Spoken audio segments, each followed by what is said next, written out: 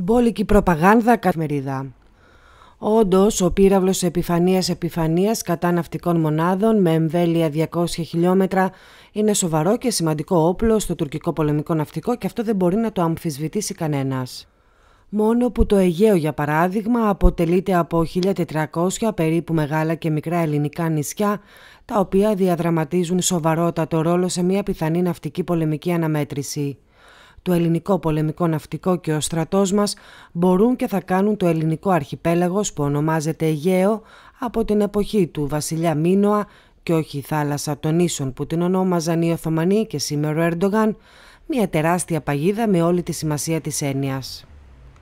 Με τη δύναμη ταχαίων σκαφών που διαθέτει τις πυραυλακάτους τύπου Ρουσέν με πυράβλους έξωσετ με βεληνικές 180 χιλιόμετρα σε σωστές θέσεις κοντά σε νησιά, μικρονήσους και βραχονισίδες, οτιδήποτε εξέλθει των Δαρδανελίων, της Μύρνης ή της Ατάλειας θα καταστραφεί χωρίς δεύτερη κουβέντα σε σενάριο ελληνοτουρκικής διένεξης. Άλλες τέσσερις εξυγχρονισμένες, ΜΕΚΟ, και άλλες δύο όσων διάμεσες λύσεις, δηλαδή δέκα πολεμικά πλοία ουσιαστικά.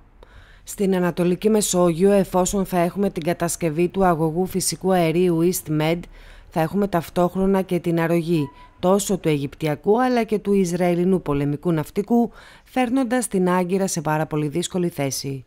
Υπενθυμίζουμε επίσης ότι περίπου το 70% των πολεμικών πλοίων του τουρκικού ναυτικού συμμετείχαν στο πραξικόπημα στη 15η Ιουλίου 2016, ενώ το προσωπικό τους είχε δεχτεί τρομερές διώξεις έμπειρων στελεχών.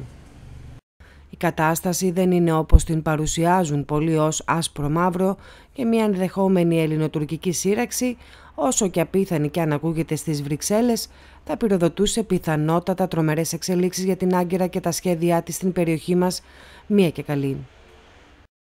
Ευχαριστούμε που μας παρακολουθήσατε. Αν σας άρεσε αυτό το βίντεο μπορείτε να κάνετε like και εγγραφή στο κανάλι μας για να λαμβάνετε πρώτοι όλες τις νεότερες εξελίξεις.